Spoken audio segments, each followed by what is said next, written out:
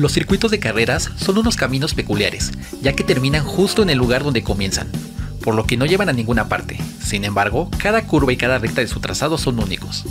Los pilotos están obligados a no salirse de sus límites, a mantener una velocidad, dirección y distancia de frenado para evitar salir del asfalto y perder tiempo. No cumplir estos requisitos pueden desencadenar un error fatal, sobre todo en el circuito de Lingoto, una pista de prueba situada en lo alto de un edificio.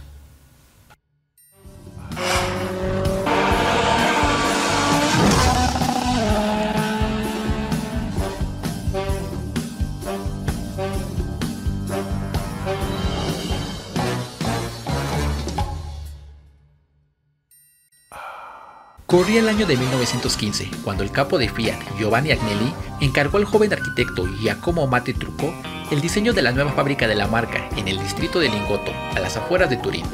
Además de las plantas de producción, oficinas y sala de reuniones, debería incorporar una pista para probar los coches recién terminados. La solución de Mate Trucco y el ingeniero Hugo Gobato fue excepcional, la colocación en la azotea de la fábrica de 5 pisos.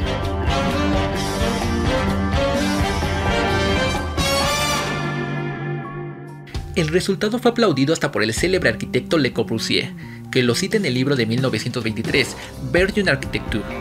Si bien no habla de una pista sobre un tejado, sino más bien de un edificio construido bajo un circuito. En Lingoto, el circuito no solo marca la velocidad y la ruta de los coches, sino que define con precisión la forma y las dimensiones del edificio sobre el que se sustenta, incluso la manera de acceder a la cubierta mediante una rampa helicoidal interior, está concebida para la existencia de este circuito de carreras, que gira y gira por tiempo infinito, a 30 metros de altura.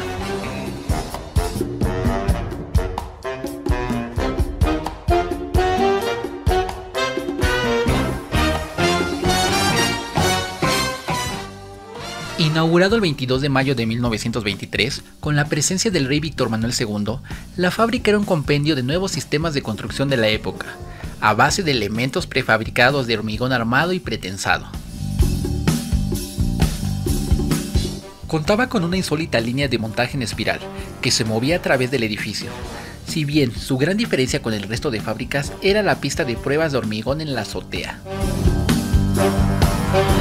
Fiat necesitaba esta fábrica, ya que tras la Primera Guerra Mundial el país estaba en plena expansión económica, y la marca dominaba con mano de hierro las ventas locales, con un 80% de cuota del mercado.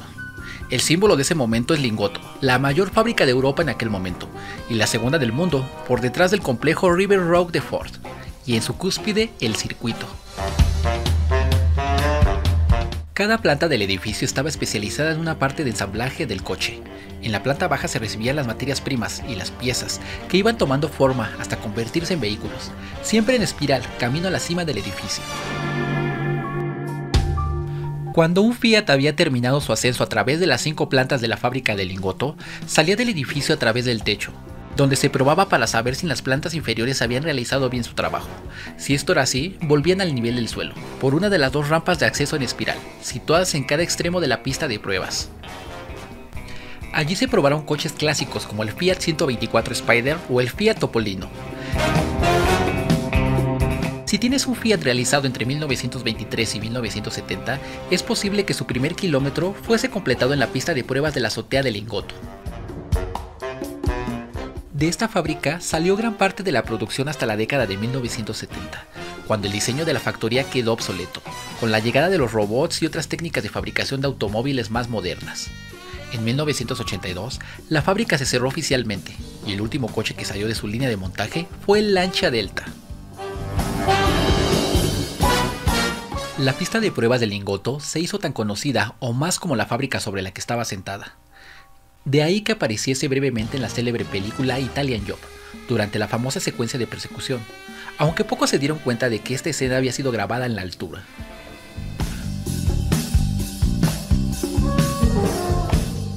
Hoy en día, décadas después de su cierre, este edificio que fue la vanguardia en la tecnología no ha quedado en el olvido se ha reinventado como un espacio abierto al público, con tiendas, un teatro, un centro de convenciones y un motel exclusivo. Incluso la pista de pruebas de la azotea está intacta. Hoy se utiliza sobre todo como un espacio de encuentro entre empresas y clubes de automóviles, así como una atracción turística y publicitaria.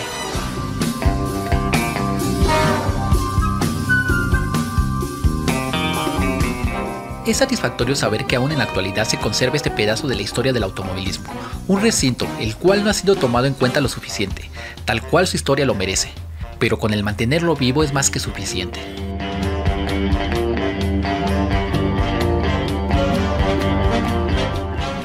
¿Qué te pareció esta historia? ¿Ya conocías este circuito de pruebas?